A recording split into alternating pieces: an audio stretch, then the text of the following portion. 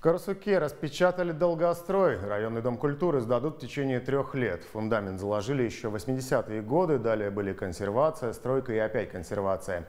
Теперь работы близки к завершению. На этот год уже выделили 50 миллионов рублей, на следующий более 120. В новом Доме культуры будет современный зал на 400 мест. Кроме того, районные власти хотят перенести в здание библиотеку, музыкальную школу и клуб. Более того, собрав в одном месте несколько учреждений, снесут их старые здания. Таким образом, начнут преображать центр Карасука. У нас высвободится территория, и сегодня у людей есть потребность такая зоны отдыха. Вот в Москве я, Собянин хвалится, целые улицы отгородили, и там вот такая пешеходная зона, где люди могут отдохнуть, пообщаться. И вот эта территория, вот такая зона у нас должна появиться в городе Карасуке.